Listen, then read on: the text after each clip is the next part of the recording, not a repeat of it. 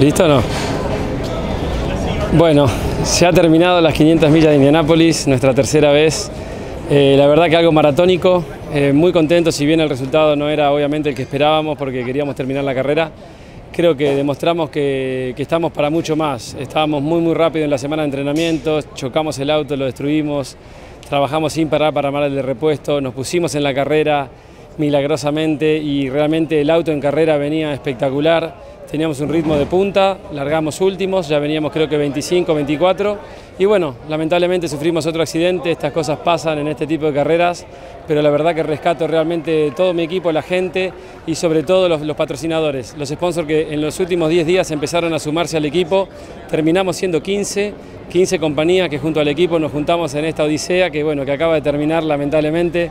Eh, quiero felicitar a Simon Pageno que acaba de ganar su primera vez en las 500 millas, a Penske que ganó otra vez más.